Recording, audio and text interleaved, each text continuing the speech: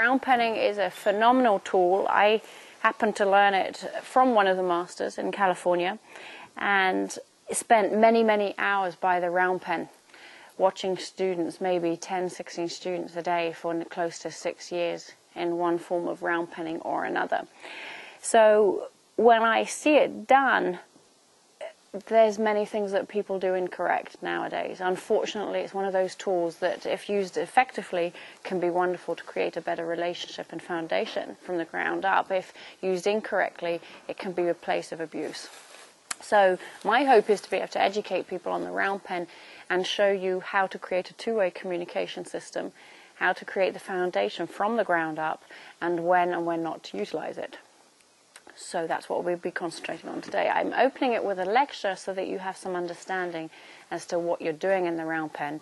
And then later on today, we go through the individual horses. You'll see the personalities and characters go through, and you'll get a chance to see different people with different accents, and the accent meaning their body language.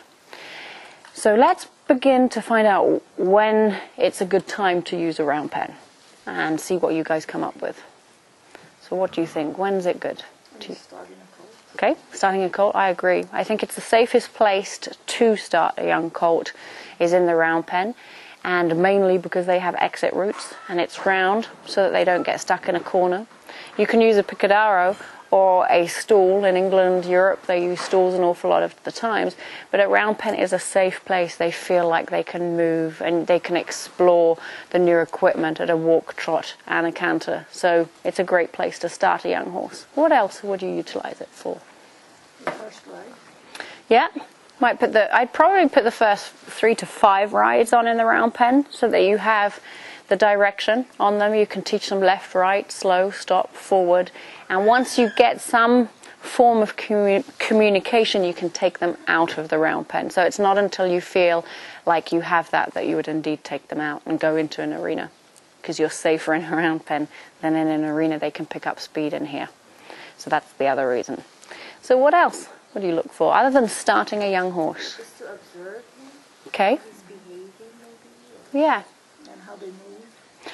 Yeah, so if you're looking to buy a horse, for example, it's a great thing to go in the round pen and start the communication because you can see how they move, you can see the conformation, how they respond, react, how sensitive they are, their gait control, the rhythm, if they're lame or not, their mindset. You can read all of that to buy a horse or indeed just observe them if you're going to ride them.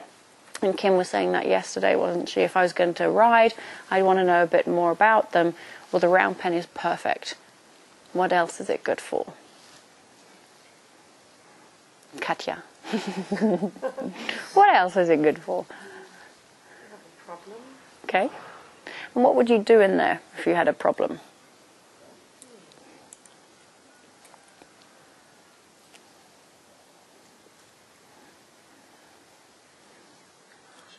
Okay. I agree with you though. If you have a problem, the round pen's great. I used it one time. Um, my stallion doesn't like to be bridled. Wasn't really fussy about it, particularly his right ear. So what I did, and it worked really well, was worked him and then brought him in and tried to put the bridle on. He fussed about it, put him back to work. First time it took about an hour to get the bridle on, and then it went right down to 33 minutes.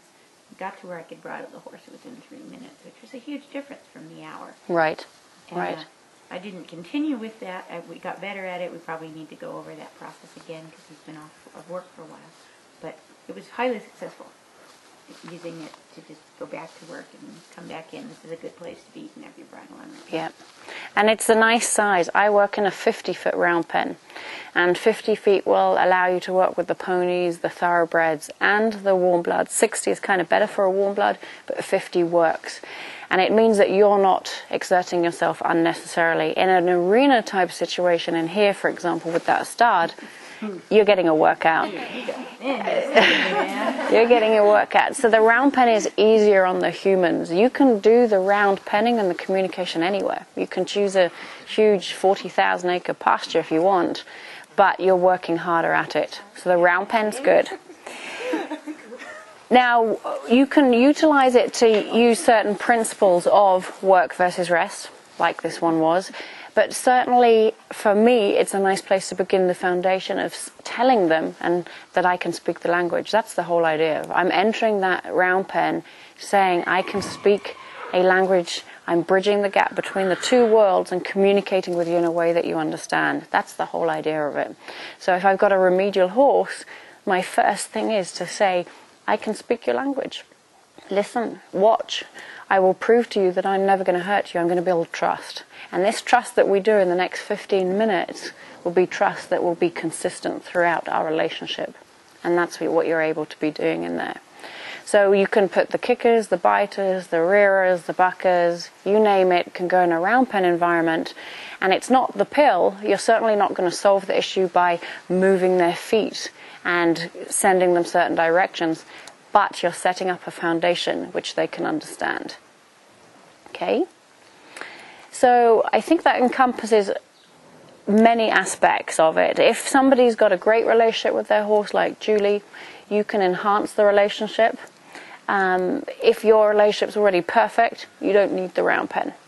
The sooner you get the young horses out of the round pen, the better, because they're going to get bored. And unfortunately, they're often kept in there too long, and then they create remedial issues. And you've got to solve the problems, and people turn around and say, you know, here we have a difficult horse, when in fact the horse should have come out the round pen way before. So when I use a round pen with a particular horse, and the pick, the contract that you're going to be learning today, the the set contract that I'm going to be teaching you, will be done no more than one to five times in their life, not a week or a month in their lifetime. And so that's important to realize that you're going through a set communication, and if you harp on about that too long, they will get bored with it. And they get frustrated and upset because you're keeping them in kindergarten. You're saying, you know, I want to practice this day in, day out. Why should they? Their language supersedes or far exceeds this portion, and then it has to become an everyday activity. So, what we did yesterday with the obstacle course, and then today with the round penning, that will show you the basics of the language. Then it's up to you to utilize it whenever you're with them. Okay? So without watching a portion of the DVD, which would help you a little bit to see what it looks like, I'm going to go through and explain how this particular thing works. I'm going to give you an overview first or off, and then we're going to break it down.